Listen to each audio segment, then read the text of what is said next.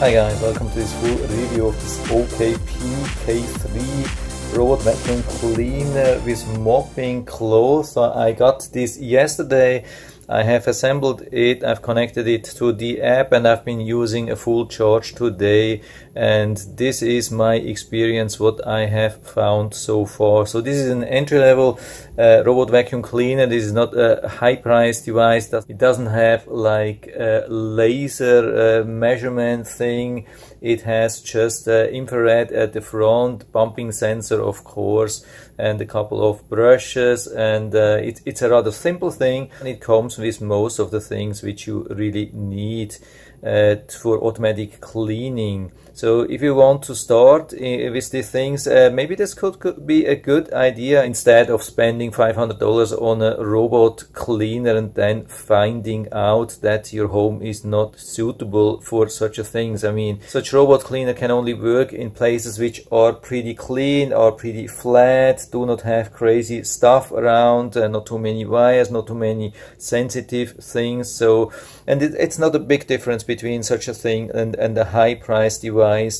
Uh, also high price devices, they have also their problems. I can tell you I've already tested this. You can find this on my channel. So let's start from the beginning. What we get here is the vacuum cleaner with the charging station. We have to remove the protecting films around and then install the side brushes. I'm going to show you that and place it on the docking station, download the app and connect it.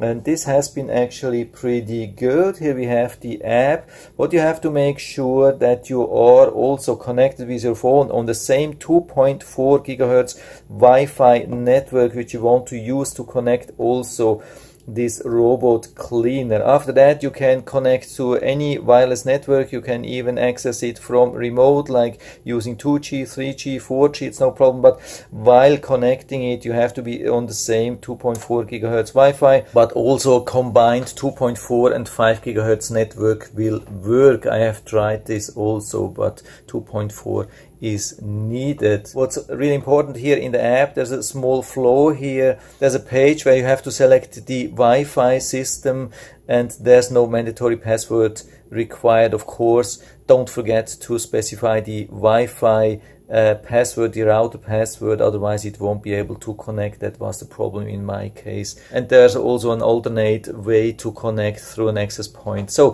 definitely it was no problem. So here is what we get. We have this thing, we have a nice flap here on top and this is the container and this is the result of my first cleaning and you can see it has been picking up quite some dirt and not only small things but also larger things. And here in the back we have the filter. Which you can see it's a two-stage filter. It's nothing too crazy of course simple thing but very effective. It's enough and it's easy to clean. You just open the thing and then yeah I'm not going to do that but you can see it has been picking up a lot of stuff. So it looks like it's pretty effective. That's the good thing if you just want to know. I leave it outside. Uh, but it has actually a flap here built in. I don't know where it is. Yeah it's down here. It has a flap so usually you shouldn't lose too much dirt when you're taking it out but I haven't been uh, careful enough. You can see I already messed up a little bit here. So let's close and turn it around so here's the thing underneath and the big uh, difference to some high price devices we can see it's no there's no center brush here so with a lot of these vacuums, we have a center brush which is actually picking up most of the dirt. We, here we don't have it. Is it a good thing? Is it a bad thing? Yeah, I'm not saying it's a bad thing. It can have a lot of advantages as well if you don't have a center brush because the center brush is one of the most sensitive parts. That's the area where most of the stuff gets entangled and then also can be destroyed. I had already some jewelry destroyed and other stuff and then also the vacuum gets destroyed. This is a more simple device but there is less damage possible to the robot cleaner and less damage to the stuff which you have in your home. So here we can see the side brushes. It has two side brushes, which is really good. So you can uh, go along uh, on the edges from the left side and also from the right side. I have seen some vacuum cleaners in this price area which has only one side brush. Of course this is somehow also working but this is much more efficient. This is what you want to have. And you can see of course it has been picking up some hair. I mean you can remove it like this but you can also remove it again. So I pick it out. So it's uh, much easier if you remove it maybe every week or so and then remove the stuff which doesn't belong to the side brush and then just push it back over this thing here you have to make sure that you really push in hard that it's sitting tight. The motors here, like the wheels, are very strong.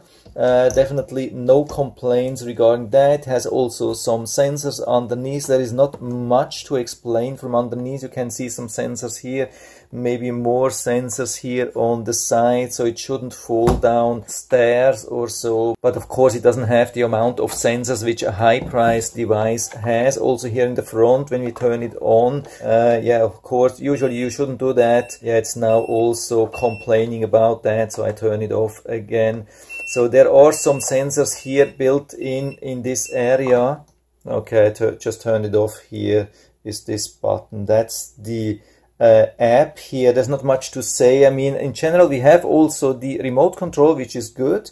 It's very useful to control it. You can control it like with a remote control car or so, move it around and then put it to some areas where you need some spot cleaning. Here's spot cleaning, edge cleaning, and here's some programmed cleaning, and here's just the normal smart cleaning. And then we have a button here to uh, bring it back. It should automatically go back to the charging station with hitting this uh, button here, but usually it's not working. Here we can regulate the vacuum power. We can uh, have it on standard, which is already pretty good. I had it the whole time on standard for this thing here. If you have areas like on, on a carpet where you want to increase the suction, you can do that here. Yeah, that's also maybe one thing uh, regarding the brush here underneath. Of course, it doesn't do a lot for carpets. And I mean, in general, these robot vacuum cleaners are not the best thing for large carpet areas but it has been also doing a good job on small rugs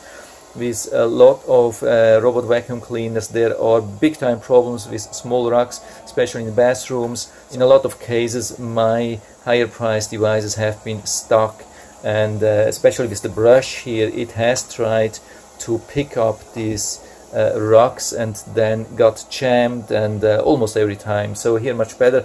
It has been moving around the rocks a little bit and creating some waves, but uh, in general it got stuck not so often. What's also good with this size here, I mean it's not a very high thing. I mean it's not the thinnest thing which I have seen, but it's pretty low, but definitely not the highest one.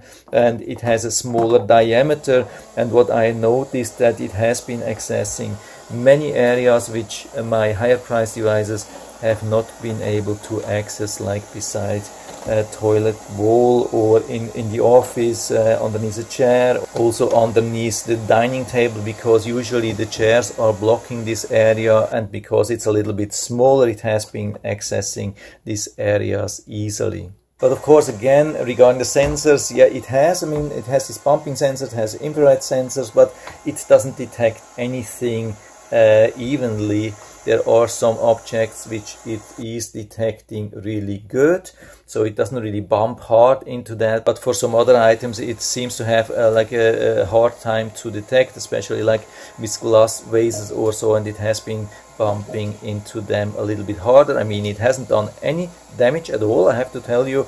I have been running this for an hour and it has not been doing uh, any damage but of course it was pretty close. What I highly recommend when you're doing this the first time especially when you're doing this uh, for the first time around the edges just monitor it the whole way around to make sure it's not uh, destroying or damaging anything. I mean, this is the case with any kind of robots, even when you're uh, buying higher price devices, they have all their problems. And regarding the height, again, I mean, uh, for me, it's really working good. It doesn't go underneath some crazy spots like my furniture in the living room. Uh, that's a good thing because it has like a, some bump and usually these robot vacuums go underneath and then they are stuck so it's a, sometimes also a good thing when they are not too low uh, sometimes I even prefer really higher uh, vacuum cleaner. So for me, it has been working good. It has been still able to access uh, below office chairs and like bathroom furniture and so on. I will say for me, it has been working really good, but you have to find out what's perfect for you take the measurement and then check your furniture and make sure that it's fitting for your uh, furniture there's no vacuum around which uh, fits perfectly for all the rooms and for all the homes it did also a, really good job on wires, like electric wires. I mean, the side brushes are always a little bit at risk with some wires, but I have some open wires, like 110 volts, many of them. It didn't have uh, any problem. I have also some Ethernet cables, didn't have any problem. But of course, it could always be a problem. But most of the problem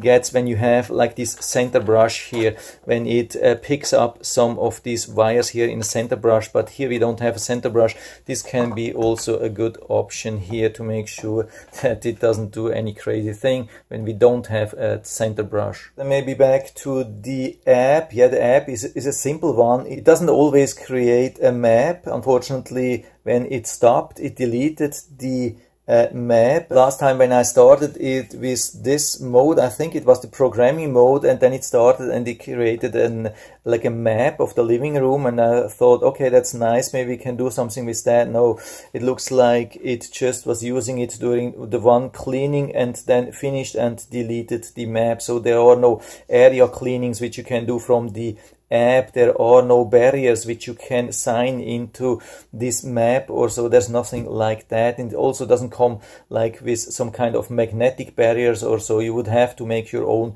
barrier if you have some areas uh, where it shouldn't go What's maybe also important for you to know that it's a rather quiet robot vacuum cleaner, at least the most quiet which I've ever had. I have tested already many of them. All of them have been producing uh, more noise and it's not even me. Also uh, the first thing which uh, my children have been noticing when my son came out of the room uh, this morning and saw the vacuum cleaner was telling me oh this one is much more quiet than the older one. And uh, yeah okay that was confirmation enough. It's it's definitely much more quiet. First i was a little bit worried because of no map and no laser sensor. I thought yeah, maybe it would get stuck underneath like beds other furniture or like office chair. And it has been doing sometimes two or three cycles and I thought, okay, it's in an endless loop. I have to help, but I let it.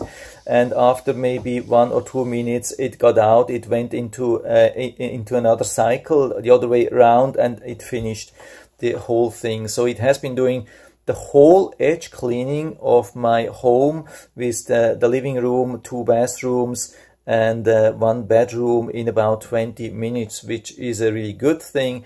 And it's the first robot vacuum cleaner which has managed to do this without interruption, uh, which didn't get stuck or entangled in, in wires. So it did actually do a, a pretty good job on that.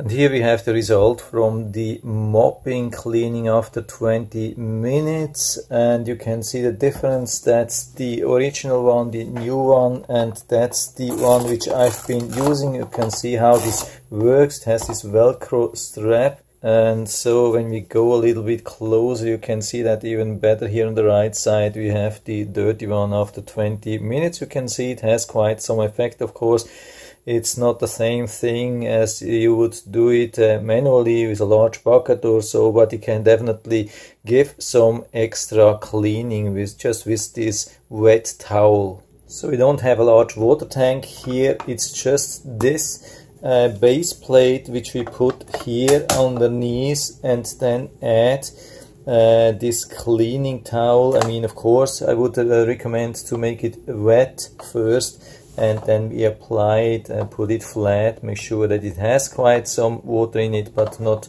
too much but it has been working good. But again it's not a tank which has a spray nozzle or so which lasts uh, longer but uh, yeah after about 10 or 20 minutes you would have to rinse this anyway I would say. So overall uh, I would say what we get is really really nice really nice package. What I also love this is my first robot vacuum cleaner which we can clean from the top. We don't have to turn it around like with most of the other vacuum cleaners and then you're dropping a lot of the dirt already uh, the cleaning mechanism is much easier so quite some advantages and even for a very low price. So I can give you full recommendation on that and I'll put down the link to the Amazon listing down into the description so you can check it out and order it right from there if you like it.